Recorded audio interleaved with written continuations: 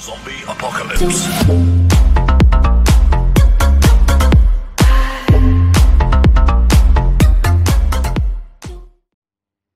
Muy buenas, ¿qué hay people? Estamos acá, como pueden ver, en mi móvil. Y vamos a seguir con la siguiente aplicación de las que yo uso para editar, que probablemente sea la más importante, y es, eh, estamos hablando pues del grabador de pantalla, ¿no? Del que yo uso para grabar. Eh, es medio difícil, iba a descargar otro, ¿no? Porque para poder ver bien las opciones, porque si no está medio complicado. Eh, pero creo que se va a poder, o sea, hacer su review con, con esta misma aplicación, ¿no? No quería descargar otra porque estoy muy acostumbrado a usar esta.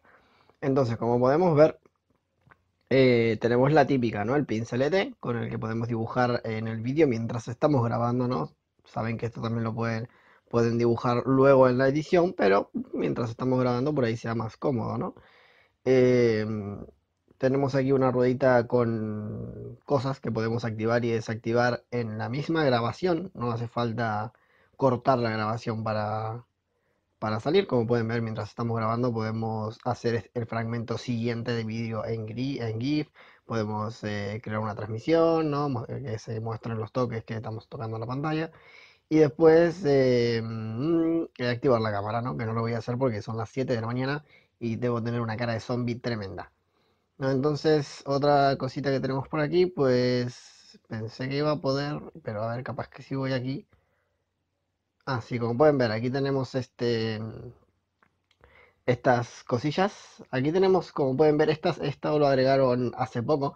No sé si recuerdan que yo les dije que eh, en un momento eh, grababa un vídeo y como que se mm, cortaba, ¿no? O sea, de, la nada la aplicación se cerraba. Eso ya lo arreglaron, obviamente, porque es una aplicación que la revisan siempre.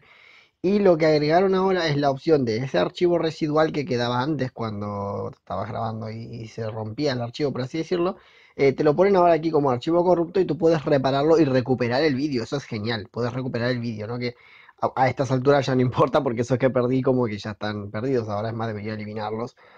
Pero bueno, eh, decirles que como pueden ver, estando aquí dentro sí puede que la aplicación tenga alguna que otra publicidad, pero estando fuera no, eh, no nos va a dar. No es como, por ejemplo, Movicen que nos llena de publicidad de pop-ups. Esto no.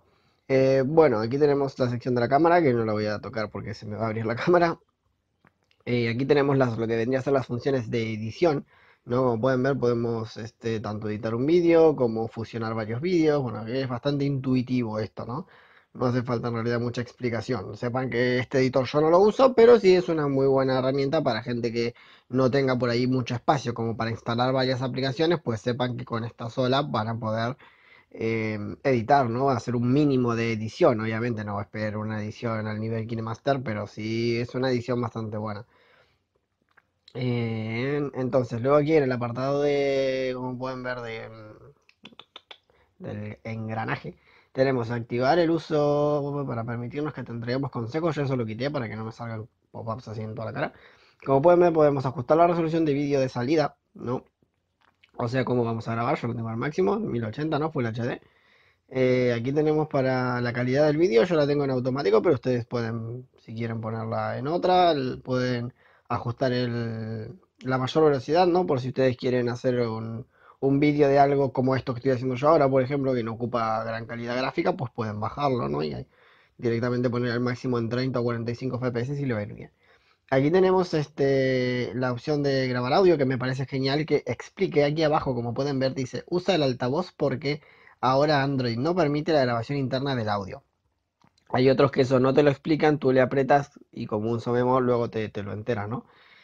Eh, aquí puedes ver eh, la ubicación donde se va a guardar el vídeo, pueden invertir los colores por si los quieren, no sé. Bueno, reparar las habilidades del sistema, eso es lo que yo les dije. Eh, modo de grabación estándar, bueno, aquí pueden cambiarlo, ¿no? Pueden ponerlo en básico si lo quieren aún más fácil. ocultar ventana de grabación, lo que haría es que directamente nos manejemos desde esta barrita que está acá arriba, ¿no? Y nos ocultaría el pincel y la bolita, que a mí en realidad me sirve la bolita porque veo cuánto tiempo voy grabando. Eh, esta opción eh, es la que a mí me sucede cuando se me cae el, móvil, cuando estoy grabando se me cae el móvil. Eh, directamente tú cuando lo agitas cortas la grabación, ¿no? Entonces se me cierra la grabación. Eh, no cierres la app cuando salgas de la ventana flotante. Esto está bastante bueno, yo no lo tengo activado, pero a veces sí, cuando voy a jugar alguna partida o algo. Esto lo que hace es, eh, nos tiene la aplicación siempre abierta, ¿no? Desde la barra de notificaciones, entonces está bueno porque por ahí tú te estás echando una partida o algo y no quieres salir para, eh, o sabes que te va a pasar algo, o quieres grabar algo, ¿no? O, te está pasando algo, entonces rápidamente bajas la, la barrita, ¿no? Ahí, ¡pum! le das al play y empieza a grabar súper rápido. Eh, desactivar la notificación emergente luego de tomar capturas de pantalla. Eso yo no lo tengo activado y directamente no tomo capturas de pantalla con esta aplicación, directamente lo hago con la nativa del móvil, ¿no? Que le, deslizo el dedo hacia abajo, tres dedos, perdón, se los deslizo, toco con tres veces la pantalla, no sé si me explico. A estas horas de la mañana ustedes saben que estoy medio medio. Deslizo tres dedos por la pantalla y se toma una captura de pantalla, es súper sencillo. Tal vez explicándolo no tanto, pero bueno. Eh, luego aquí tenemos cuenta regresiva, ¿no? Si quieren pueden cambiar el tiempo de, la cuenta regresiva, ocultar botón de grabación eh, en la página de inicio, eso también es para ocultar el botoncito este. Aquí tenemos el menú de herramientas, que es el que teníamos también ahí abajo. Y aquí tenemos crear acceso directo de editor en el escritorio. Como les digo, yo no uso este editor, así que no lo tengo. Crear acceso directo de videos pop en el escritorio, tampoco. Podemos elegir el idioma, podemos ver la versión, hacer preguntas y tal, ver opiniones de otros usuarios y bueno, y calificaciones y todas esas cosillas. Así que bueno, como verán, es para mi opinión el grabador de pantalla más completo y más versátil que tenemos ahora mismo en Android. Eh, es excelente, yo no le tengo nada que decir en contra, funciona súper bien. Eh, salvo eso que en ese momento lo comenté que se me cerraba la aplicación, luego no pasó más. La verdad que le meten bastante, todas las semanas creo que me sale una actualización y la verdad que es bastante recomendable. Así que bueno, poco más que decir de este grabador e hicimos la review con el mismo grabador, o sea, es muy bueno. Así que listo, poco más, se los recomiendo, descarguenlo que es muy muy útil. Así que hasta aquí, un saludito y los dejo con el panda.